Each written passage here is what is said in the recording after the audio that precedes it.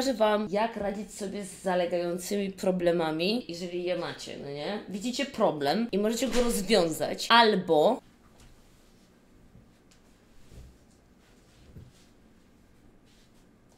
możecie przestać go widzieć. Słuchajcie, mam Wam do opowiedzenia parę rzeczy. Dzisiaj chodziłam po biurze i prosiłam wszystkich, żeby mnie zmotywowali do pracy i nikt mnie nie zmotywował, ale trochę popracowałam, ale nie za dużo, nie jestem z siebie dumna dzisiaj. I mieliśmy dzisiaj spotkanie z nową ekipą wykończeniową i jest szansa, że ktoś się za to zabierze w końcu, hura. Jej my. A jeżeli chodzi o kupno nowego mieszkania, to pani od kredytu zadaje bardzo dziwne pytania i w bardzo dużej ilości już mi się przestało to podobać. Nie dlatego, że jestem streamerką, zadaję pytania, tylko dlatego, że na picie rozliczeniowym mam inne kwoty niż kwoty, jakie płaciłam i pytają skąd ta rozbieżność. A ja nie wiem, jaka jest rozbieżność i nie wiem w ogóle o co im chodzi i muszę zadzwonić do biura księgowego, żeby mi powiedzieli o co chodzi. Natomiast wczoraj wracałam z siatkówki i jadę do domu. Jadę i są pasy i zbliża się pani z pieskiem i podchodzą do pasów, więc ja, jako świadomy, odpowiedzialny dorosły kierowca, wiem, że może chcieć przejść przez pasy, no nie? Podjeżdżam do tych pasów i zwalniam. Wręcz hamuję. Na co pani przeszła obok pasów, popatrzyła na mnie i zrobiła tak.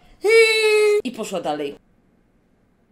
Ja w szoku. Nie wiem, po prostu nie wiem. Pojechałam dalej, ale byłam w szoku. Męczy mnie to od wczoraj. Musiałam się tym z wami podzielić, bo. Tak, i żałuję, że nie mam kamerki samochodowej, no. Żałuję, że nie mam kamerki samochodowej. Jakbym to nagrała, to byłby hicior na stopcam. Record video. Jak byłam mała, to jak siadałam na toalecie, to bałam się, że z toalety wyjdzie wąż albo pająk i ugryzie mnie w dupę. Mhm. Straszna fobia. Nauczyłam się bardzo szybko sikać. Ja się boję, że coś wyjdzie z lustra. Z lustra Mylin. To jest przecież bardzo nieuzasadniona fobia, że z lustra. Z kibla to tak, tam jest rura, kurwa, ona musi do czegoś prowadzić. I są takie przypadki na pewno w Australii, że wychodziły ten, ducha się boisz. O ile nie krzyczysz y, trzy razy Bloody Mary do lustra o trzeciej w nocy, to myślę, że nie ma co, nie ma co. W Polsce aligator z kibla Ja się zastanawiam, jak duże muszą być rury, nie? Ja natomiast dzisiaj obudziłam się o ósmej, bo pan miauczyciel stwierdził, że to jest pora na pobudkę i zaczął biegać po chacie, wskakiwać na mnie, zaskakiwać. Miauczał mi k***a, centralnie do ucha. Stał nade mną, oparł się o łóżko, patrzy na mnie i robi miau, miau. Boże, o chuj ci chodzi? Ty robisz stand-up dziś? Nie. Ja opowiadam po prostu o moim życiu. Taka przypadłość, wiesz. Są te przypadki, gdzie miłość do zwierzaka jest wystawiona na próbę. Oj tak. Chciałbym wstawać o ósmej, ja dzisiaj o piątej musiałem. Też mam czasami dni, że muszę wstać o piątej. Nie tak działa. Znaczy bardzo rzadko na szczęście, ale... Widzicie koło na moim czole? Okej. Najpierw pomyślałam, że mam włosa, wiecie, tak, ale go nie czuję. Potem pomyślałam, że mam brudny ekran, ale to było zbyt okrągłe. Poszłaś na tańce? Nie, zapomniałam. Może jutro pójdę, ale tak to nie zrobię streama, bo one są chyba o 19. O, o, nie podpięłam słuchawek i mi powiedziało battery low, please charge now. O nie, co teraz? Ja umiem, znaczy ja wiem, że z tych słuchawek można korzystać, jednocześnie je ładując, ale ja jestem debil, ja nie potrafię tego zrobić. I co teraz? Nie no, patrzcie, patrzcie. Możemy streamować dalej, to się nic nie dzieje. Nie da się z nich korzystać i ładować, sam próbowałem. Da się. Są widzowie, którzy mi mówili, że się da. No ale jak? Trzeba na tego jacka podpiąć, na ten kabel taki z tymi kolorowymi wejściami. Ale ja po pierwsze zgubiłam ten kabel, a po drugie jak próbowałam je podpiąć, nie umiałam tego wtyknąć dobrze do dobrej dziurki, bo te dziurki z przodu w moim kompie nie działają. Te z tyłu bym musiała, z tyłu nie widziałam, więc stwierdziłam, że to pierdolę. I nie podpinałam. Ale dziwnie tak wyglądam bez słuchawek na streamie. Jakoś mam małą głowę taką. Też to widzicie? Czoło mi się uwydatnia. Ej, co myślicie, żebym sobie grzywkę zrobiła? Oczywiście, że nie zrobię grzywki. Raz w życiu popełniłam ten błąd. W tej klasie podstawówki, jeżeli dobrze pamiętam. Jakbym miała grzywkę, to już by się pedofile zaczęły za mną obracać, więc nie zrobię tego sobie spokojnie. Płaszcze są, to na przykład może być płaszczka. Płaszczka jest płazem, bo jest płaska. Rozumiecie to? To Kasik też jest płazem? Oczywiście wspominając o SKKF-ie nie możemy zapomnieć o tym, że dużą popularnością także cieszyły się materiały nagrywane z członkami ekipy Terefere, Te refery. Już o tym słyszałam. JJ Dąbrowski, Smaf, Kiślu, Thor i Rembol. Okej, znam tylko Jay Dobrowski. Te refery to jakaś grupa ludzi chyba lubiących Minecraft. Torka nie znasz? Torek? Który to Torek? Tor to Torek? To jest Torek? Ja nie wiem jak Torek wygląda. Jak wygląda Torek? Dobra, ja już wiem jak wygląda Torek. No. No kurwa, to reklama Durexów. Patrzę na ten miecz, reklama Durexów, wszystko pasuje. Perfekt. Tej, to ja już wiem, jak wygląda Torek. W sensie, wiedziałam, jak wygląda Torek, tylko nie myślałam, że to jest Torek. W sensie, tutaj nie wygląda jak Torek, tu wygląda jak Torek, o którym wiem. Czwartym powodem, dla którego SKKF nie uratuje swojego kanału jest Pandora Gate. Okazało się, że SKKF miał im wysyłać swoje nagie zdjęcia oraz jednego z chłopców podobno gościł w swoim domu. Większość dowodów zostały usunięte na wcześniejszą prośbę SKKF, a jednemu z chłopców zaproponował zapłatę za wysłanie zdjęcia stóp, Ale okej, okej, jakby to brzmi brzmi dziwnie i źle, aczkolwiek musimy pamiętać, że na to nie ma dowodów. Nie ma takiego dowodu. W sensie ja rozumiem, że to mogłoby być bardzo traumatyczne dla, dla młodych osób i nie wątpię w to jakby, aczkolwiek trzeba tutaj się powstrzymać od pójścia z widłami, tylko pamiętać, że nie ma na to jednoznacznych dowodów i o mnie moglibyście powiedzieć to samo i tak samo mnie jakby obarczyć takimi zarzutami, nie mając żadnego dowodu na to. Powiedząc, że 10 lat temu coś takiego zrobiłam, kazałam komuś usunąć wiadomości, więc to prawda, Kasia chciała moje zdjęcia stópek. Nie wyobrażam sobie świata, w którym poprosiłabym kogoś o zdjęcie stóp, kurwa. Naprawdę. Pojane, nie? A wysłać ci nie, nie, proszę, nie wysyłajcie mi zdjęć stóp. Obrzydliwe to jest. Nie chcę. Nie zapłacę wam. Zbanuję was, jak mi wyślecie zdjęcia stóp. Nie chcę. Nie chcę. Nie życzę sobie. Proszę nie. Tak szczerze, to Pandora Gate otworzyła mi oczy na temat większości youtuberów, streamerów, których kiedyś zdarzyło mi się oglądać tak łopatologicznie. No ale Julson, co to zmieniło w twoim życiu? W sensie, dowiedziałeś się, że to nie są tak nieskazitelni ludzie, jak o nich myślałeś po prostu, czy, czy co? No bo co to zmieniło tak naprawdę, no? Jak dla mnie, dopóki nie będzie jakichś zarzutów prokuratorskich i nie będzie jakiejś rozprawy o to, to tak naprawdę Pandora Gate była i nimo. Trochę tak. Kto ma parcie na szkło i, i spory dupochron, to wróci do internetu tak czy inaczej, bo nie potrafimy kancelować. Myślę, że najbardziej chodzi tu o idealizowanie twórców, ale czego się spodziewasz też w sumie trochę, nie? Myślisz, że to są jacyś lepsi ludzie od ciebie, że oni nie mają problemów, niektórzy nie biorą narkotyków, nie imprezują. Jak nie umiemy kancelować, SKKF upadł? Gdyby chciał, myślę, żeby wrócił. No bo tak to trochę wygląda, nie? Chodzi mi o to, że wszyscy to są ludzie. Ja nie mówię, że branie narkotyków jest dobre, ale jak ktoś nie jest twórcą, to też się zdarza, że bierze narkotyki. Zacznijmy od tego, że to kur... od samego środka. Ale wszyscy ludzie to kur... od samego środka. Dasz palec, wezmą całą rękę. Chcesz komuś pomóc, to cię zaczną nachodzić w domu później. Chcesz sobie wykończyć mieszkanie, to kurwa ktoś splajtuje. Daj spokój, no. Nie trzeba być influencerem, żeby być kurwą. Taka prawda. A ty kim jesteś? Ja jestem Kasia. Sexy cipka z Radziszowa. O kurwa, nie powiedziałam tego. Ja pierdolę. Czemu mi się to kurwa nawinęło na język? Ja.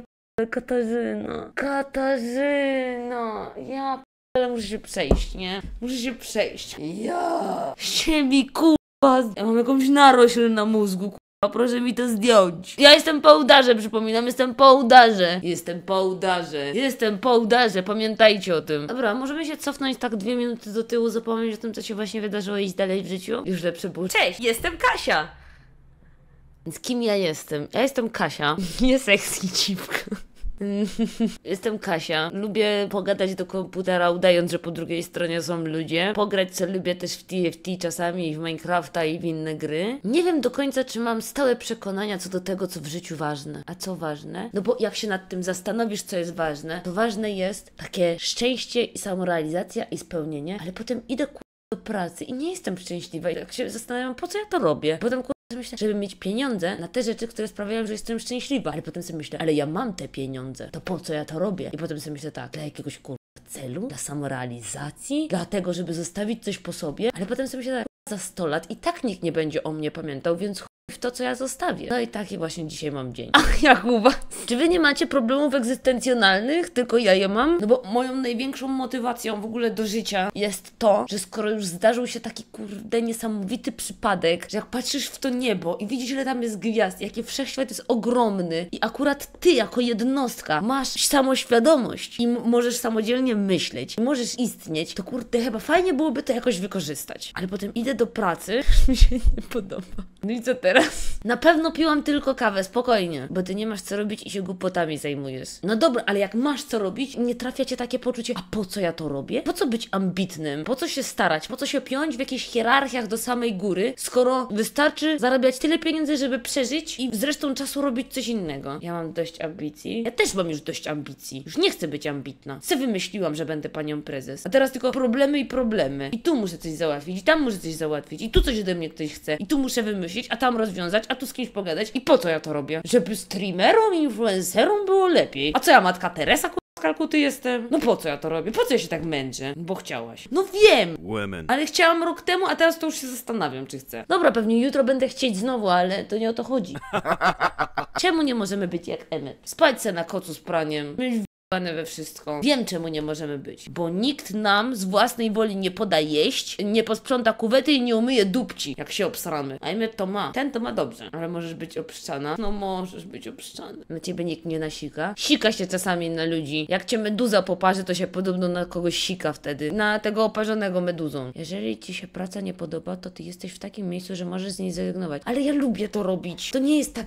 Kur- Kocham tą pracę. Gdyby nie streamy, to to jest to, czym bym się chciała zajmować w życiu. Lubię to. Lubię być, robić różne rzeczy i tworzyć coś i robić marketing. To jest naprawdę to, co mnie interesuje. To, co narzekasz. No bo tego jest dużo. Tego jest dużo i dzisiaj mi się nie chciało, no. Nawet jak masz pracę marzeń, to nie jest tak, że ci chce pracować codziennie. Mogłabym tak z doskoku raz na jakiś czas popracować. Nie jestem przed okresem. Skoro tego jest dużo, to musisz znaleźć osoby, które cię odciążą. Wiem, szukam. Znaczy szukam. Jest już końcowy etap rekrutacji. Prawie mam tą osobę. Prawie mam. Ona mi pomoże. Ona, ona będzie szklanką wody w upalny dzień. Tak czuję. Powoli wszystkie moje sprawy się klarują, bo tu znaleźliśmy ekipę do wykończenia mieszkania. Ja mam pięć rzeczy, którymi się aktualnie zajmuję. Streamy, firma, mieszkanie, wykończenie, mieszkanie, kupno, sprawa z pozwem na bupa. To jest pięć rzeczy, które są aktualnie moim top tematów. Firma firmą, jak przyjdzie nowa pani, to może mi pomoże. Streamy streamami, jesteście ze mną dalej, miło mi, witam. Mieszkanie, wykończenie, no to tu się coś rusza, bo w końcu mamy ekipę i może w tym tygodniu jeszcze podpiszemy z nimi umowę. Mieszkanie, zakup, tam się dzieje bardzo dużo i tutaj muszę poprosić księgowych o pomoc, bo a dowiedziałaś się, czy nie zbankrutuje. Pytałam się ich trzy razy, czy planują zbankrutować i powiedziałam, że jeżeli nie będę im ufać, to będą mi musieli podpisać cyrografem, krwią, że oddadzą mi swoje dusze, jeżeli postanowią zbankrutować. Panowie się zaśmiali, ale ja mówiłam to dość poważnie. A jak z przedłużeniem kontraktu z Motorola? Motorola nie przedłużyła ze mną kontraktu, niestety. No. To co, wracasz na iPhone?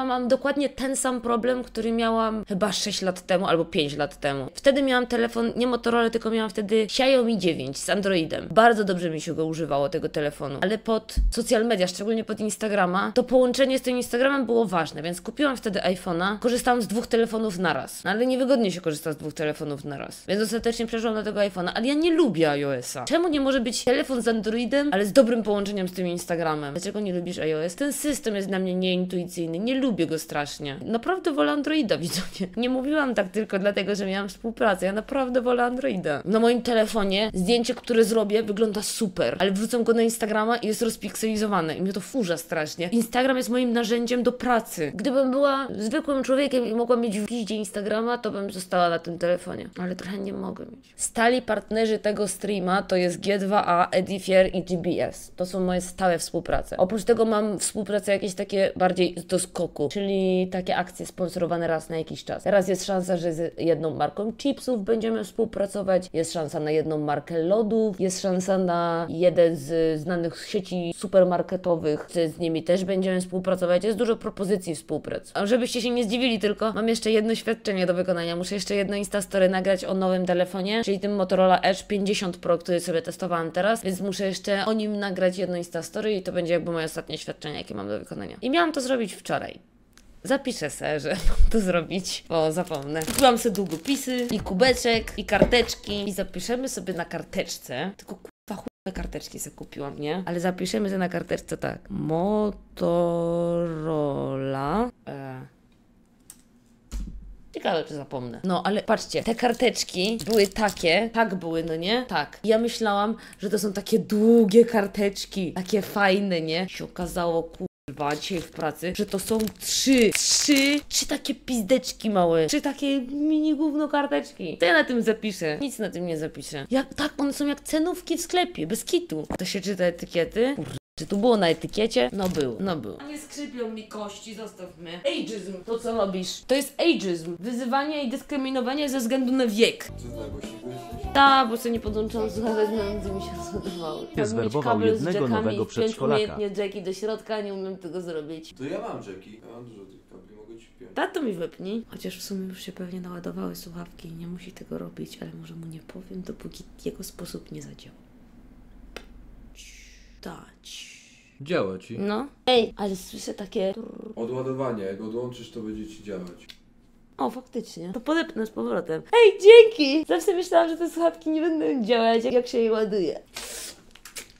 Fu, co ty Jaki chcesz komunikator u Oliwiera wybrać? Messenger. Kto to wymyślił? Ty to wymyśliłeś, stary? To jest niezdrowe na mózg. No to jest właśnie Ale pokafona. u, stary, Gen Z informacje... Byłabyś w stanie uczestniczyć w takim programie? Słuchaj, Roximen, w moim telefonie nie ma za dużo ciekawych rzeczy, ale moje ostatnie połączenia są na przykład do moich inwestorów, do mojego prawnika, takie rzeczy, więc wydaje mi się, że ze względu na spółkę nie mogłabym sobie pozwolić na występ w takim programie. Jakby pan inwestor dostał taki jakiś dziwny telefon, on by nie zrozumiał później, a bo to takie pod YouTube, takie